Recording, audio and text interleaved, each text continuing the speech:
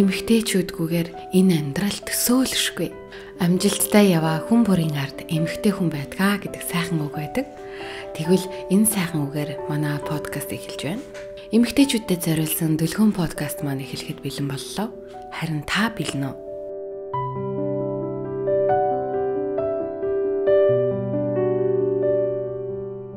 Positive Mongolia За сайн байцгаана уу. Дүлгэн подкаст маань эхлэхэд бэлэн боллоо. За өнөөдөр та биднэрт маш сонирхолтой яриа одоо маш сонирхолтой зүйлийг ярихаар онцгой цочин бас бэлэн болсон байна. Мөн цацаагч манаас Монголоос бэлэн болсон байна. Ингээ бид гор өнөөдөр монголчуудад нэг ялангуяа өнөөдөр маш чухал тооцогдож байгаа сэдвийн талаар ярих гэж байна.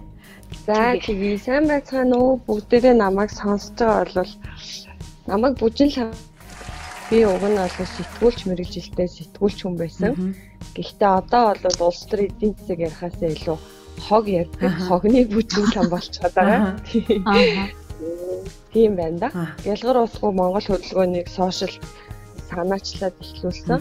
Тэгээ одоо хоггүй Монгол төрөөс байгууллагын үйл ажлыг хийгээд явж байгаа. Аа. За.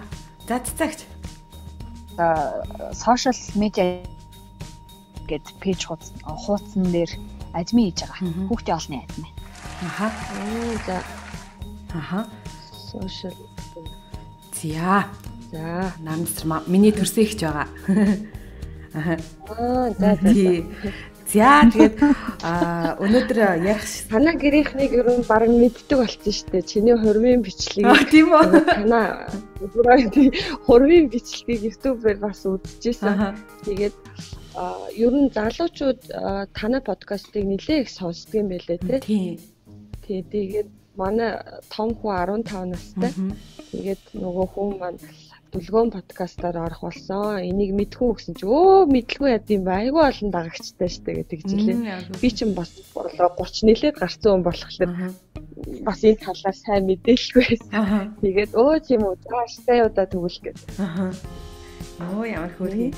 За бид хэд өнөөдөр энэ чухал сэдв рүүгээ орохын өмнө эхлээд бүжээгчээс яагаад энэ хоггүй Монгол гэсэн энэ айныг эхлүүлсэн юм бол ер нь яагаад бүжээгч өөрөө энэ бүхэн рүү орсон юм бол бүжээгч өөрөө яагаад хогоо ялгаж хайдаг болсон юм бол гэдэг яриаг эхлээ ярих хэрэгтэй ах гэж бодож байна. Тэгэд хүмүүс аль мэдж байгаа бүжээгчийг сошиалаар би бол харсан. Нөө яг одоо Монгол байх болохоор телевиз үзэж чадаагүй. Тэгээ сошиалаар бол харж агаад хогоо бол яг ялгаж хайдаг. Яг л одоо манай энэ шивэд байгаа шиг хогнуудыг ялгаад хайдаг. Дээрээс нь хүмүүс болохоор цаашаа нөгөө ачаад авч явах хогны асуудал одоо цаашаа нөгөө улс маань энийг шийдээгүй ингээ гомдолдог бол бүжээгчийг одоо хийж байгаа зүйлсийг харахаар тэгж гомдолж цагаа үргэлгүйгээр хувь хүн өөр өөрөөсөө л одоо гаргах хогоо багасгах эсвэл өөртөө хай хогон дээр л одоо анхаарлаа тавьчвал хүн хүнээс л одоо хувь хүнээс бүх зүйл шалтгаалах гад байна гэдгийг л айгүй их яриад байгаа юм шиг миний олд гэж ойлгогдсон. Тэгээ надад тэр нь маш их таалагдсан учраас өнөөдөр ингээд уурж оролцуулсан юм шүү. Тэгээд таны яагаад энэ зүйл рүү ингээд маш их одоо цаг хугацааг зориулж бүхэлдээ амьдралаа мэрэгчлээ зарцуулж байгааг нь бас сонирхмаар байна. Аа. За баярлалаа. Би чи ер нь бол сэтгүүлч юм байсан тий. Тэгээд тухайн үед бол уул уурхай эдийн засаг гэл одоо тийм том том сэдв ярьдаг байлаа яг үнэндээ. Бидний үед бидний үед бичтэй би ч одоо 7 молоо 8 жилийн өмнө тийм сэдв үздэг байсан шүү дээ. Тэгээд э, би ч гэсэн бас л уул уурхай яриад л тайм хийгээд л ингээд явдаг байсан. Тэгээд тухайн үед бол яг үнэндээ э, хог э, сурвалжилдаг хогны талаар ярьдаг сэтгүүлч яг ранк муу дөнгөж одоо залуухан сэтгүүлчд л тийм ажил хийдэг гэсэн ийм ойлголттой нийгэм даяар манай сэтгүүлчдийн дунд ч яг үнэндээ байсан. А одоо болвол хог гэдэг бол бидний ерөөсөө одоо амьдралын бас нэг эрүүл амьдрах тэр амьдралын маань хамгийн гол үндэс суурь болчиход байгаа учраас энэний талаар маш олон хүн мэдлэг мэдээлэлтэй болцсон байгаа нь үнэхээр таатай байгаа. За би яагаад ийм юм ярих болсон бэ гэвэл хамгийн нэгдүгürt миний эмзэглэл байсан. Хогоо ингэж хамаа замраагүй хаяад байгаа нь ерөөсөө байгаль дэлхийг амар бохирдуулж ин дээрэс нь амьтдыг ямар амар тамлан зовоож ийн вэ те эргээд ингэж хайчаад үр хөвгтэй бид нар үнэхээр хортой тийм дэлхий гараг одоо газар агаарыг л үлдээж штэ энэ нэгдүгээр тэмцэл нүд тайлна гэж байдаг штэ те Аа. Монголын маань нэг үг байна. Би одоос тэг 2 жил гарны өмнө Фижигээд та мэдэх бол Австралийн хажууханд байдаг тийм нэг арал руу явсан. Тэр арал дээр очиод дандаа Япон оюутнуудтай хамт амьдарсан. Тэгээ Япончууд чинь бол үнэхээр энэ амьдралын утга учирыг одоо бүр утгаар нь өөрсдөө өөрсдийнхөө амьдралаар үр хөвгөлттэй дадал болгоод сургадаг ийм л арт юм юм байлээ. Манай оюутнууд маш жижигхэн одоо хэмжээтэй тийм талбайтай оюутны өрөөнд амьдардаг байсан хэрнээ миний нөгөө хажуудлын хамт амьдардаг охин маань ерөөсө хог хайдаг байсан байхгүй. Бусад япон оюутнууд ч ерөөсө хог хаяхгүй. Тэгээд өөрсдийнх нь суралцах хугацаанд дуусангууд хэрэгжилжсэн бүх угаалгын нунтаг, шампунь, савн юу гэдэг те хоолой хүртэл ерөөсөө дээдлхийн ингээд цэвэрхэн хавчаараар хавчаад скотчдох скотчдод тэгээд дараагийнхаа оюутанд үлдээгээд явдаг. Тэгээ энэ бол нэг талаар нэг л муухай нарийн юм шиг те хөвгийн одоо замтай санагдаж магадгүй л дээ. Гэхдээ одоо бид тэдний үйлдэлийг бодоход бол нэг багаасаа хог гэд хаях юм бол байгаль дэлхий одоо ухааныг багаас нь заачихсан учраас тэр хүүхдүүд хогоо хайж чаддгүй л байсан юм байлээ. Тийм учраас бусдаа үлдээдэг байсан. Маш бага хоол хийн, яг өөртөө тохирсон хоол хийн. Жаахан атга будаа илүү үлдсэн ч гэсэн тэр будаага одоо хүнсний скотчнд боогод өөрийнхөө нэрийг дээр нь бичээд хүрэгчөндөө хөлдөөгд маргааш нь дахиад хэрэгэлдэг байсан. Ийм аривч хямгч хог хаяхыг үнэхээр одоо буруу гэдгийг ойлгодог ийм хүмүүс юм байлээ. Гэтэл манай монголчууд яадаг вүлээ те үлсэж ийн гээл баахан хоол хийгээл тэгэл тэр нь үлдээл ихэнх нь хаягддаг ийм тохиолдлууд байсан аахгүй. Тэгэл би тэднээс л тэднээс их юм сураад тэгээ хурж ирээд би яг телевизтэй ажиллах боломж олсон ч гэсэн ерөөсөө нөгөө нэг өөрөө ойлгосон тэг мэдээлэлээ олон нийтэд түгэх ёстой юм байна. Бид нар хогоо мэдхгүй байгаас болоод өөрсдөө маш их зовж, шаналж, тэг өвдөж, эргэн тойрон энэ хорт хавдар гэдэг өвчин чи ерөөсөө жилдээ 2600 Монголын хэмжээ насардаг байхгүй энэ хорт хавдраа. 6 хүн тутмын 6 хүн насварлаа гэхэд тэрний нэг нь хор тавдраар насварж байна. Ургийн гажиг гэж сүүлийн жилүүд маш их нэмэгдэж байна. Энэ мэт одоо хог хаяглаа замраагүй хайснаас болоод бид нар маш их өөрсдөө зовж байгаагаа ойлгохгүй байна. Тийм учраас энэ дэлхийн нийтээр фокуслж байгаа хогны асуудлыг юун төлөө сэтгүүлч хүлээ те энэний төлөө дуурдаг болъё гэж шийдээд 2017 оны 10 сард яг эхэлж ирсэн. Тийм. Аа. Одоо тэгээ тэрнээс хойш зөндөө бас хэсэг хугацаа өнгөрөө тэр хооронд бас зөндөө олон хүмүүс бас нөлөөлж чадаад маш олон хүмүүс бас хөрсөн байсан шүү дээ. Тэгээд та бас зөндөө олон газар ярьцлага өгсөн байсан, сургалт хийсэн байсан. Тэгээд одоо та гоё сонсоо хүмүүст уран булгаад хичнээн хүмүүстэй ойролцоогоор энэ талаар сургалт мэдээлэл хүргэсэн бол ер нь нэг тийм барагцаа тав байгаа болоо. За өста сайн мэдэхгүй байна. Ямар ч байсан миний гол боддог юм бол нэгэнд хандлага одоо амьдралын хэм маяг нь тогтцсон томчуудад ямар нэгэн юмыг ойлгуулахад үнэхээр хэцүү байдаг. Удаан өөрчлөгддөг. Аа хүүхдүүдэд бол а зөв юмыг зааж өгөхөд буруу юмыг ч гэсэн тэд нар маш хурдан тусгаж аваад ойлгодог байхгүй. Тийм болохоор би Монгол улсаа ирээдүгөө үнэхээр цэвэр, эрүүл одоо хоггүй болгоё гэж бодвол тэр 30 20 30 жилийн дараа амьдрах жинхэнэ эздийг нь бэлтгэх хэрэгтэй гэж үздэг. Тийм болохоор одоо бага насны хүүхдүүд те ерөнхий боловсролын хүүхдүүдтэй төлхөө ажиллахыг хичээдэг юм аа. За тэгээ 2017 18 Моны дандаа эцэг эхчүүд надтай холбогдоод тэгээд тэднэрийнхээ санаачлагаар нэг сургуулийн нэг анги ч юм уу тий. Тэгээд одоо салбарлаад нэг ангид нь заачаар дараагийн ангийнх нь багш нь наач өстө хэрэгтэй байна. Манаа заагаад өгч гих мэтэр ингэж одоо алагч цаг зааж явсан. Ингэж явахлаар надад үр дүн айгу баг санагдаад байсан байхгүй. Яг үдэ тухайн үед хүүхэд маань ойлголоо ч гэсэн тэр хүүхдэд ойлгосныг дадал болгохын тулд сургууль дээр нь ямар нэгэн үйл ажил болж явах хэрэгтэй хичээлтэй нь холбоотой тий. Гэрт нь очиод аав ээж нь бас ойлгодог байх хэрэгтэй. Тэгэхээр би юу гэж хийсэн бэ гэвэл зөвхөн ингээд алаг цог хичээл заагаад явхлаар баг баг насны хүүхдэд бол үрдэн муутай юм байна гэж бодоод 2018-аас 19 оны сая хичээлийн жил дандаа сургуулиуд бүтэн сургуулиуд дээр ажилласан. Баянзүрх дүүргийн 97 дугаар сургууль бол 3000 гаруй хүүхэдтэй бүх ангиудад нэг бүрчлэн хичээл ороод тэгээд яагаад бид нар хог хаяхгүй байх юу? Энэ яг ийм хичээлийг заагаад тэгээ 3000 гаруй хүүхдэд заагаад нэг сарын дотор одоо нөгөө хүүхдүүдтэй давхраа танаас цуглаал давхрыг ингэж цуглуулах хэвээр ийм давхир нь тэдэн хилэн тэдэн төгрөг байдгийг энээс мөнгө олж олно гэд хооронд нь уралдаан зарлаад тэгээд явдаг. Тэгэхээр чи нөгөө яг бүх сургуулиудын удирдлагатай багштай хамтраад уралдаан зарлаад бүтэн сарын хугацаанд нэг сургууль дээр ажиллахаар хамаагүй л үр дүн гардаг. Хүүхдүүд маань өөрсдөө нөгөө давхраа тушаах ажилдаа оролцоод Тэгээд нөгөөтгөө тушаагаад багахан мөнгөтэй болоод ирэхээр урамшдаг. Тэгээд тийм ажил хийгээд мөнгөө цуглуулад одоо ангита тойл энэ төр авсан хүүхдүүд байсан байхгүй. Тэгээд энэ ажил хамгийн чухал болдог бол одоо тэр боловсролын яам уг нь бол үүрэгтэй л юм байлаа хуулиндаа болол тэгээд энэ хог хаягдлыг менежментийн хүүхдүүдэд ойлгуулах талаар багаас нь заах хэрэгтэй сургалтанд ороосоо. Аа Манай одоо сонсогчид маань ойлгож байгаа яа тэгэхээр бүжээгч маань яг одоо дорндод байгаа байлаа та хаана байгаа лээ? Тий. Дорндод яваа. Дорндод тий. Тийм учраас жоо сүлжээж байгаа унаа дондоор нь гацаад байгаа. За тэгсэн ч гэсэн хідүүлээ яриагаа болвол энэ нөхцөл байдалд хамаарахгүйгээр өргөжлүүлээд явъя. За тэгээ цацаагчаас асууж сонирхох зүйл байна уу? Цацаагч асуугаарай. Би бол одоо яг илүү яг бодит амьдрал дээр яг хэрэгжүүлж байгаа аргуудыг илүү сонирхож байна. Аха. Аа. Одоо жишээлбэл яг өөрийнхөө амьдрал дээр хэрэгжүүлж байгаа аргуудаас. Аа. За хэлээд хэлвэл ямар ямар арга байгаад. За ер нь бол манай Монголын хэмжээнд хог хаягдлын менежмент ямар вэ гэдгийг хүн болгон мэдж байгаа х тий. Одоо ингээл хогоо ялгаарай, англиараа гэж хэлэхлээр хүмүүс юу гэж хэлдэг вэ гэвэл би англиад яах юм? Гадаа гараад нийлүүлэл ачин штэ. Би ааха. Яг тэгж хэлдэг штэ тий би юу гэж боддог вэ гэвэл тэг ямар нэгэн шалтгаан тоочод авах юм бол тэг хин энэ ажлыг эхлүүлэх юм. Хин хин хин тий.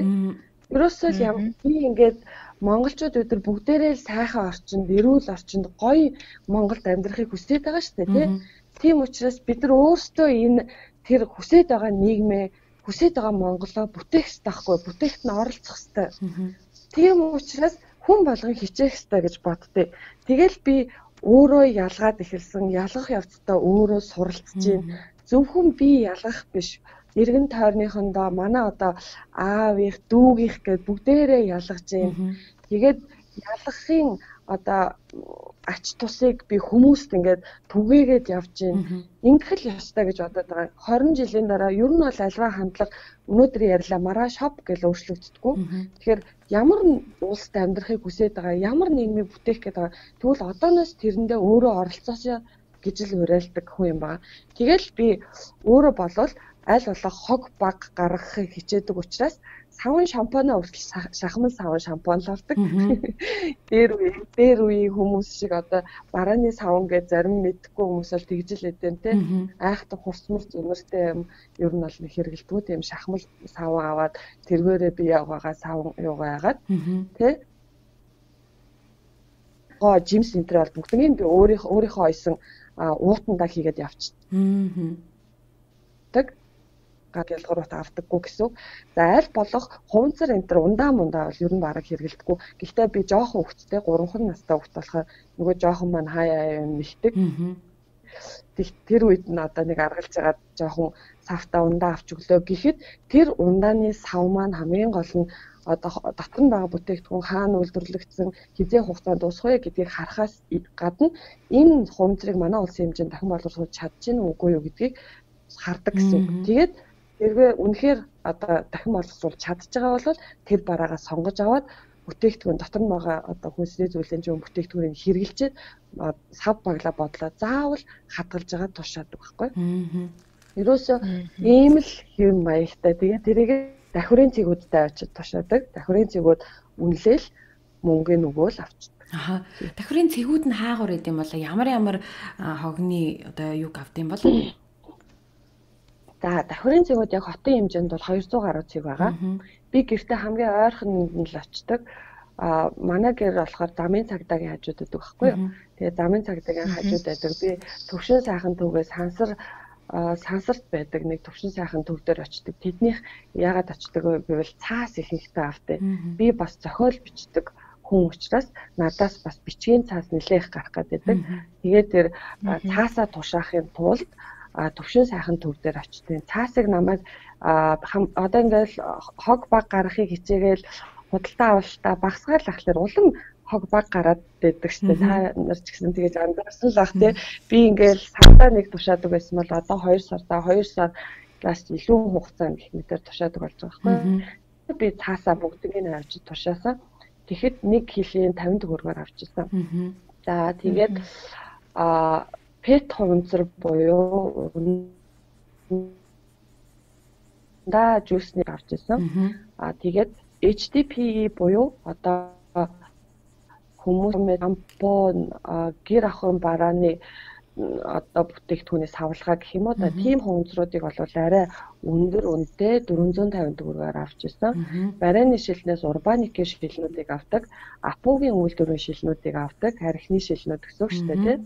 За гэр ахуйн гэр ахуй хэмжээнд гарч байгаа хогнуудаас эдгээрийг авна гялгар уутыг бас авна. Гялгар уутыг арай хатуу гялгар уут ах юм бол сан оргиугийнхан бусад хувцар болон зөөлөн гялгар уутуудтайгаа нийлүүлж аваад бүтээгдэхүүн хийчтэй. Нийлүүлж хайлуулад а зөвхөн хатуу гялгар уут нь бол LDP гээд та нар сайн мэдэх байхтай арай зузаан гялгар байдаг шүү дээ. Ер нь бол хүнсний зориулалтаар ашигладаг ч хэлдэг. Зарим нь сав багла бодлын зориулалтаар байгаад байдаг. LDP гээд нэлээд зузаан гялгар уутыг бол пластик центрийнхэн дандаа хоолоонууд хийдэм билээ. Жордлонгийн доторлогоо тий бохрын хоолоо гэх мэт хоолоонууд хийдэг. Тэгээ тэдрийг нь мэддэг учраас одоо яг хэрэглэлээ гэхэд тийм савлгаатай бүтээгдэхүүнүүдийг л худалдаж авна гэсэн. Тэгжил амьдрч юм да. Оо энэ чи ерөөсөө мэдээгүй. Би л өнөөдөр анх удаага сонсож байна яг ийм юм юунуудыг буцааж авдаг гэдгийг. Ёстой мэдээгүй юм шүү дээ тий. Зөө эн чи бараг л нэр ингээ харсан чинь бараг л байж болох зөндөө холон огнуудаа ингээ эргүүлээ тушаах боломжтой юм биш тий? Тийм үстэй яг зөв сонголтыг л худалдаа авалтаа хийчих юм бол эргүүлээд юмнуудаа бол ингээ тушаахад худалдаж авах газрууд нь бол байгаа юм биш үү? Ямар гоё юм бэ? Энийг чинь анх удаа сонсч чинь тий. Тий харин хүмүүс мэддгүү маа мэддгүү болохоор л тэгээд байдаг. Тэгээд наачиг тушаагаад явах хүн бас хэр олон билээ тий.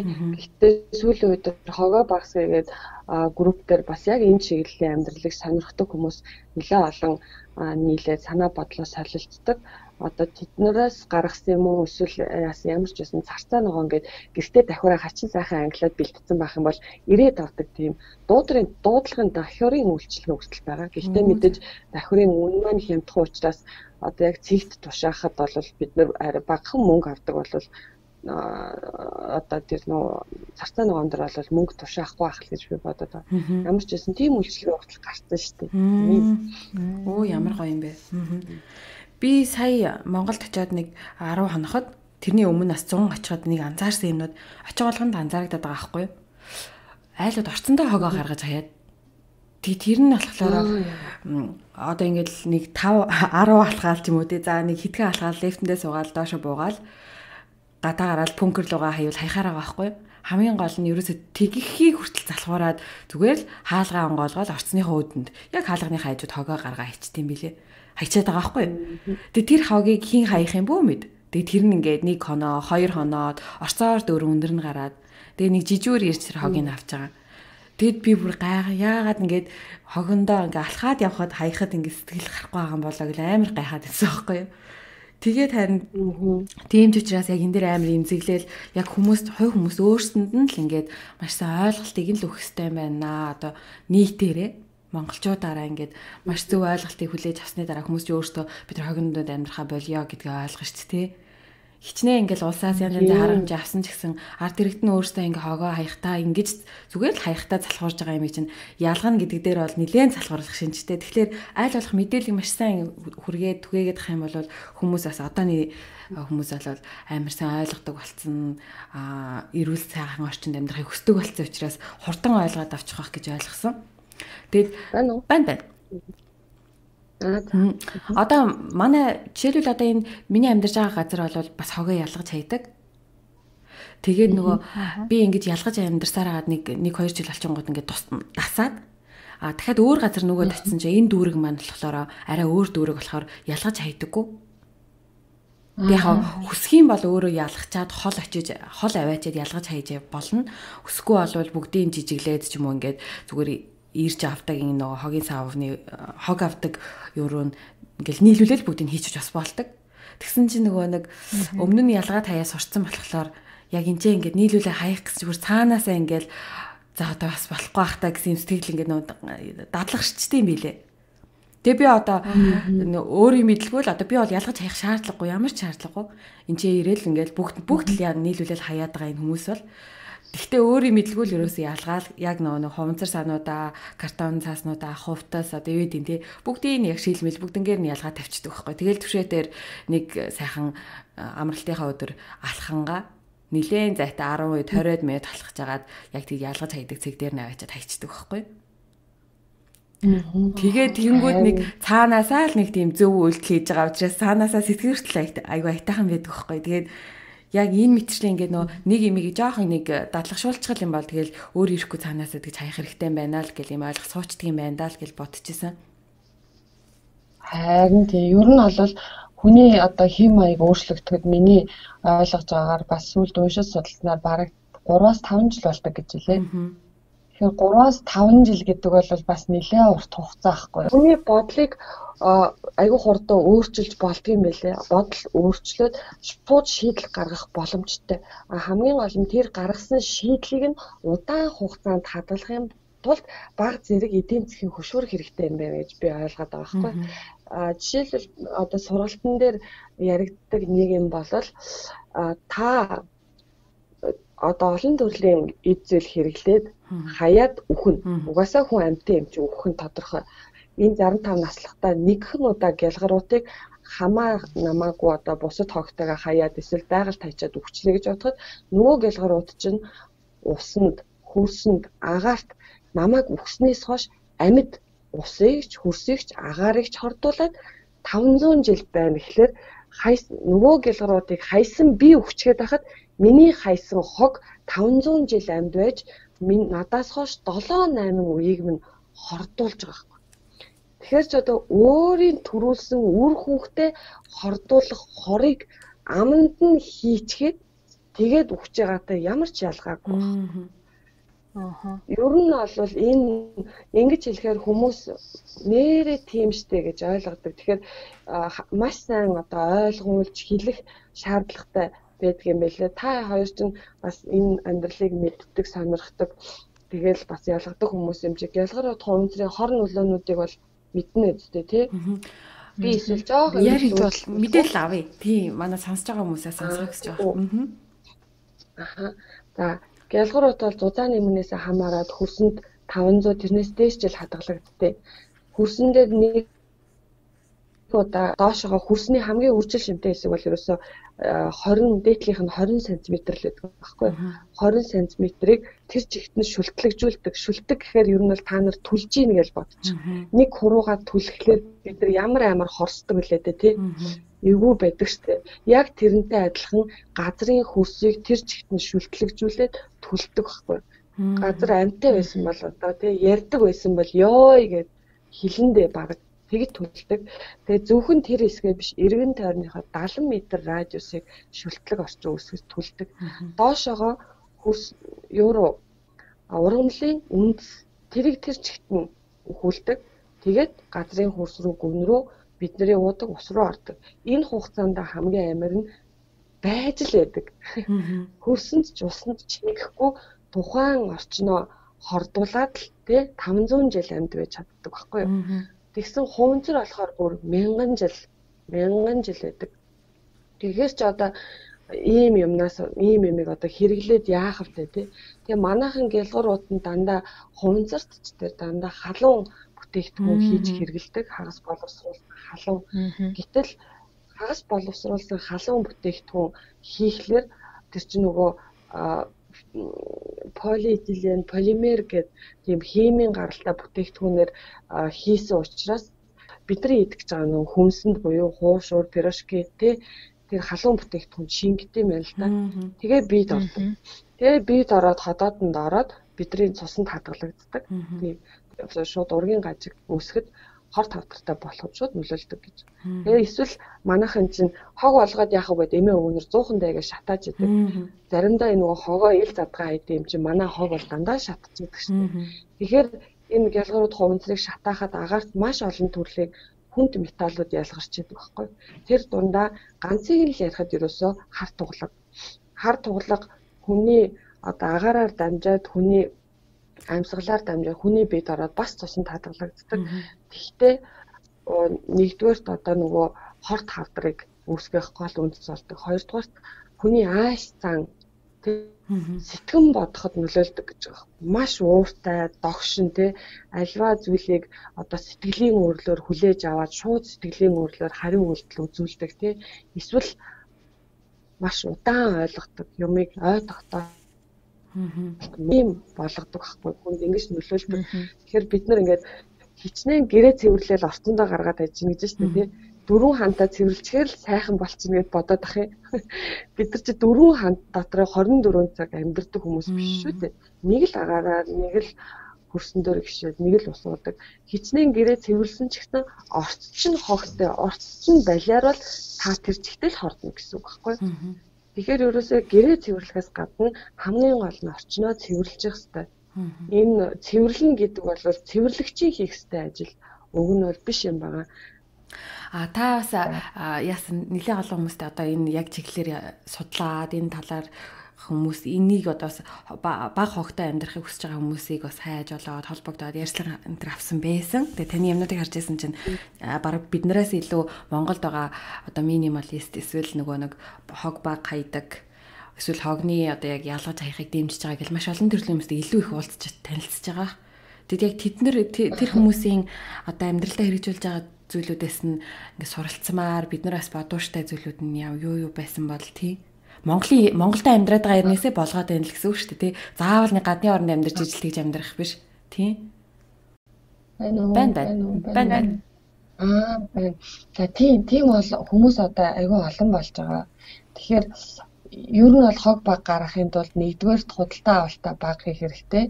Зурагт телевизээр гарч байгаа хямдралын рекламыг ерөөсөө үзэх хэрэггүй. Хямдарсан барааг аваад эргээд дандаа хийхтэй хүмүүс харамсдаг. Ялангуяа хямдарсан гутал хувцс нууцсыг авахтаа үнэхээр энэ надад хэрэгтэй мө гэдгийг батах хэрэгтэй.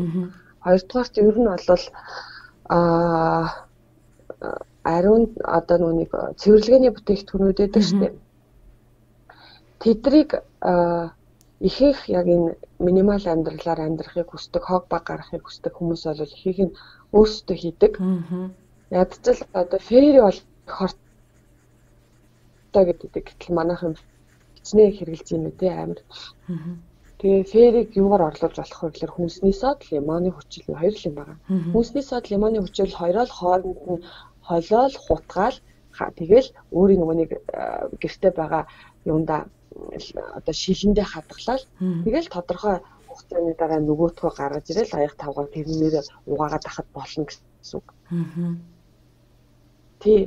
Тэгвэл энэ ийм одоо өөрөө хийнэ гэхлээр зарим хүмүүс юу ажил төрөлтэй өчнөө ядарч үдрээ төвжрээд ирж их чи юу тэрийг хийгээд сууж явах вэ гэд тэгдгэн тий.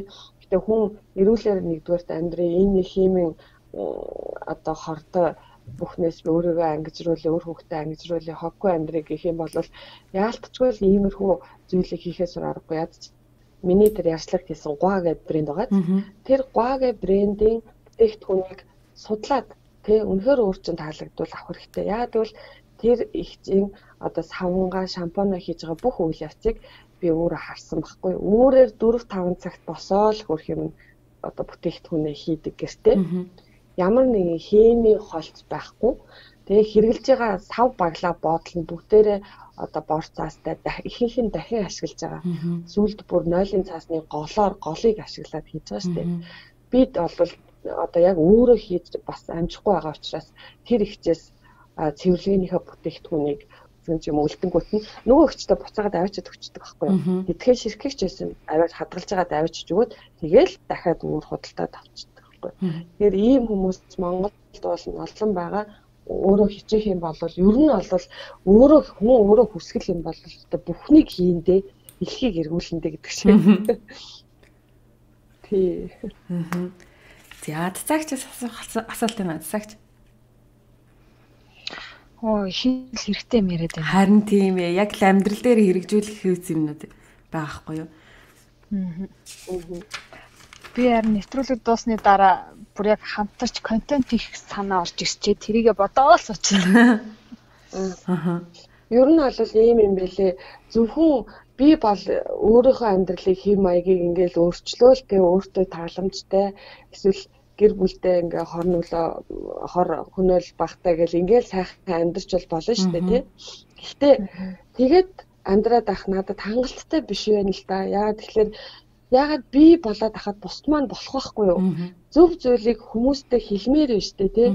Олон хүнд түгээх тусам сайн зүйлийг түгэх тусам монголчууд нь 3 сая учраас өөрчлөгдөх боломж маш их байхгүй юу? Япон, Солонгос хаа байсан тэр 100 хэдэн сая хүн амтай газар очиод би хогоо багсгийгээд яриад ах юм бол миний энэ ярьж байгаа үг нэрээ далаад түүгээд нулимхтай л адилхан нөлөөлнө. Гэтэл 3 сая хүнтэй хүн амтай ийм хүн дотор 80% нь интернет ашиглаж байгаа ийм үед тэгээд дандаа 60 70% залуучууд байгаа ийм хүм нийгэм бол маш хурдан өөрчлөгдөнө айгу би одоо сүүлүүд айгу тийм гигээтэй одоо сайхан юм боддог болсон. Тэгэхээр хүн болгон хичээгээд заавал хог баг гаргах штэ. Ерөөсөө эргэн тойронд чинь сайхан юм болж ивэл шууд л одоо бусдад хэл. Ер нь бол тийм сайхан юм байвал шууд л хуваалцаал хэлэх хэрэгтэй. Манайхан бас нэг жоохон аминчхан тэрийг л дотроо хадгалаад өөрөө нэг сайхан байна гэд бодоод байх нэг тийм зан байх шиг гэдэг. Ер нь уг нь бол өөрчлөгдөг гэвэл айгүй амарх. Тэгээд бас Монголд хийж байгаа хөдөлмөрлж байгаа хичээж байгаа хүмүүсээ бас дэмжиэд тэднийхээ хийж байгаа бүтээгдэхүүнүүдээс бас авах их зүгээр юм санагдсан. Би сая нөгөө цагч хоёлаа нэг юунд дэр атсан штэ. Аа тийм нөгөө намуу намуу гэ тийм намуу гэд тэнцэнээс нэг яг юу эко савангууд авсан нэрэл яг үнэнгээсээ нөгөө нэг пявер савтай шингэн саван аваад нөгөөтгөө ашиглаж байгаа савыг хайдаг дээ. Эсвэл нэг юутай сав аваад тэгэлгүйгээр яг Монгол сав авчираа. Тэгээ тэр сав болохоор манай нөхрийн гарт амар хашил өгдөг гэсэн байхгүй юу? Тэгээ тэр нөө нэг хадгалтын бодисоосоо болд юм өнгө оруулагчид юунаас нь болд? Ямарсан тэр нөө нэг химийн арцтай учраас яг энэгээр зарагдаж байгаа шингийн юм нэг л гой гой үнэртэй жоохон мөнтэй ингээл гой гой тим тим тим гэцэнүүд гэтэл тэр нь болохоор амар хашлаг үзэн би тэг зүгээр л Монголоос авчирсан а юу? Цэвэр малын туснаас гаргасан те сүүлийн тостой байлоо тэгээ дээрэс нь овёостой гэд гадуур нь нэмгээ юм нөө юм юугаар бүрцэн илүү дотор савлгаан мавлгаа байхгүй тийм саван гууд авчирсан. Тэгээд тэрнийгээ одоо бид нэр бүгдээрээ гэртээ ашиглаж байгаа. Гаранд нь бол ингээд хайрцангуй бүр шаал угаасны дараа гар хүртэл аягүй зөөлхөн болд юм байна. Тэгээ ялгаанууд аягүй мэдрэгцэн. Яг нь үнэр нь л нэг жоохон тод үнэртэй. Яг үнэ. Тийм. Гэхдээ одоо тэр үнэр бол одоо яг үндэ бодвол гар ингээд ашиглахгүй айтайхан байж хаад бол тэгэл сүулдэ сонирн биш болчтой юм билэ. Би бүр сүулдэ за нүрээ угааж юм билүү гэл гих мэтчлээ ингээд яг нөгөө нэг тэгсэн ирнээсээ үнэ нь амар хямдхан. 2000 төгрөг, 1500 төгрөг, 3000 төгрөг гэд амар хямдхан тэрнийг юм жижигхэн савна. Тэгэхээр тийм савнгуудыг бас аваад хамгийн ингээм жижигхэн хэрэглээнүүдээс л баг багаар ингээ өөрчилж үзүүл, туршиж үзүүл их зүгээр юм санагцсан. Байна уу? Байна байна. Харин тийм ээ. Одоо сонсогдож байна уу? Тийм байна. Асуул ороод байна. Нэг Франц хүүхэн байдаг шүү дээ. Одоо Америкт амьдардаг. Аа Zero Waste Home гэртээ бүр ингээд амьдардаг. Тэр хүний TEDx Center гэдэг ер нь бол ихтгэл хичээлүүдийг би сонсч байсан байхгүй. Тэгсэн тэр эмэгтэй маань бас өөрөө хамгаалах одоо бүтээгдэхүүнээ өөрөө л хийж эхэлж исэн юм шиг байна. Тэгээд яг өөрийнхөө яриан дээр гардаг байхгүй юу? Би ингээд шампунаараа нэлээ олон хугацаанд ингээ угааж исэн, угаагаад исэн чинь сүүлдээ нөхөр нь үгүй би одоо болооч наа чи нөөс тэгсээ надаа үнэр нь муухай гэж хэлээ надад тэгээд өөрөө тэгдэг байхгүй. Тэгээд тэр хүн маань тэгж хэлсэн учраас үнэрийг нь бас жоохон дарах, өөрчлөх арга хэмжээнүүд авсан юм байлээ. Гэхдээ одоо миний хэрэглэдэг тэр гоо гэд брендийн бүтээгдэхүүнүүд бол зарим нь бол бүр илт сүүл мүл өмсдөг шүү дээ тийм ерөөсөө биш тийм ерөөсөө биш зүгээр яг хуу тийм гоё гоё гоё үнэр байхгүй гэсэн айхтар гоё тийм сэтгэл татам үнрүүд бол байхгүй. Гэхдээ угаахаар хатуу шампанаар нь угаахнууд үнэхээр ус уналт байхгүй болчдөг. Тийм гоё өтгөрдөг. Тийм. Тэгээд айс одоо хуурашаад байсан бол тэр нь байхгүй болчихж байгаа. Тэгэхээр энэ л одоо хэрэгцээг л хангаж яхад тэр үнэр болол үнэхээр чи бүхэ гэдэг шиг л байгаа шүү дээ тийм шүү дээ. Цацаагч чинь бас нэг тиймэрхүү савангууд ашиглаж байгаа шүү дээ. Цацаагч уян дээр гэртээ авж байгаа арга хэмжээ өөртөө хувьдаа авж байгаа ямар арга хэмжээнүүд вэ? Монголчуудын нэг ийм зам бас яг ийм амьдралаар амьдрахт аюу саад болоод идэв шиг санагддаг юм аа. Нэрлэхүү зам. Одоо жишээлбэл ингээл цагаан сар гэл тэгт чинь одоо цагаан сараар ч өчнөө олон хэрэгтэй хэрэггүй бэлэг өгч байгаа шүү дээ би биэндээ. Тэр чинь дүүрэн хог хаядлаа. Одоо би жишээл цагаан сараар авсан бэлгээ бараг 100-ны 70 80% нэрийг хаядаг. Ямар ч амьдралд хэрэггүй би ч өөр айгуу тий бас минимал минимал талтай хүн шүү дээ. Яг яг хэрэгтэй юм авч үлдээс хэрэггүй юм шууд хачдаг байхгүй.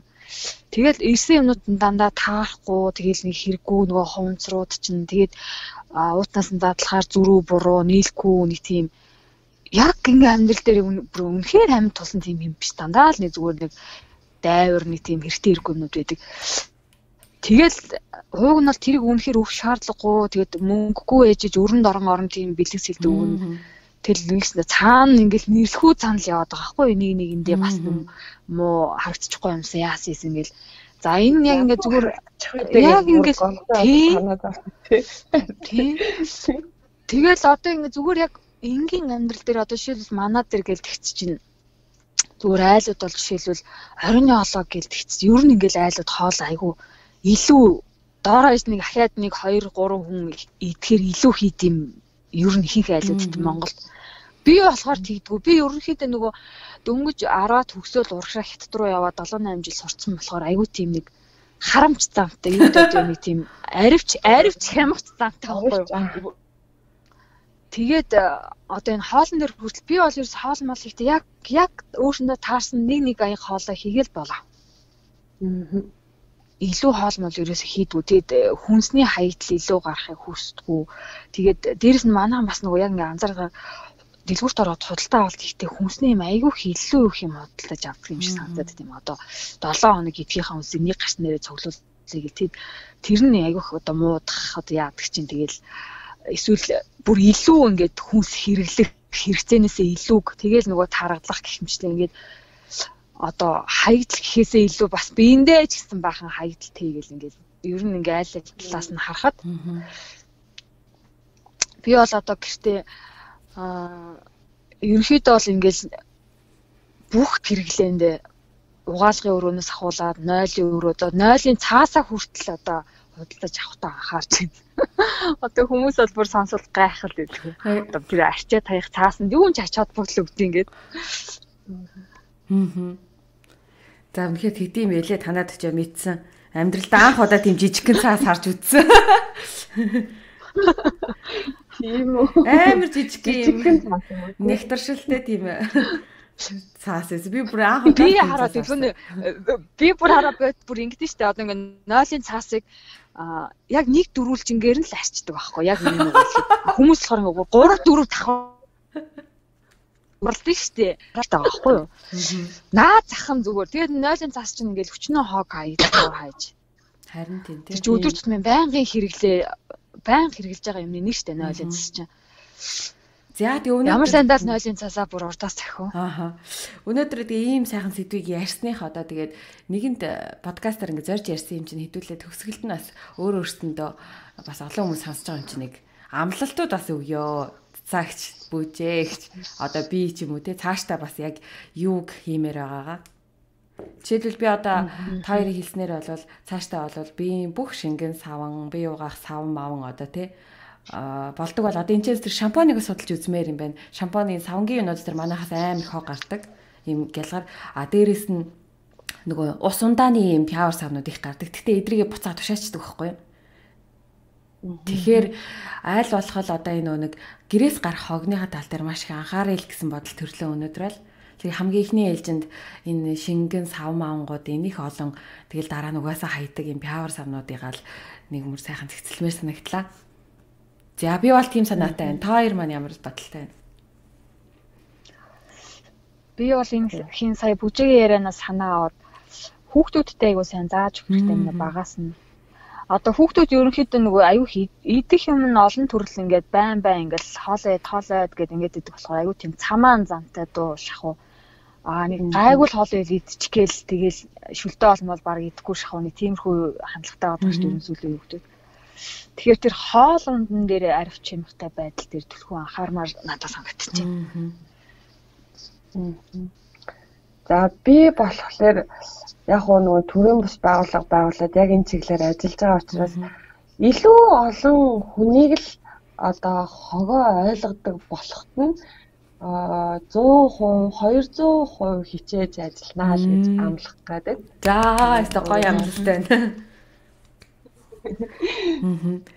За тэгэд өнөөдөр бас хаас өндөр хоолт орнуудад байгаа ажилтай байгаа тэрнийхаа дараа бид нар цаг гаргаад энийг мэдээлэл өгсөн маш их баярлалаа. Тэгээд нөө сүлжээнээс болоод дундуураа нэлээд гацсан учраас хэрэв боломжтой бол бүжээгч маань дараа дахиж бас оролцоод хотод ирсэн байхдаа ч юм уу интернет сайтай үедээ тий.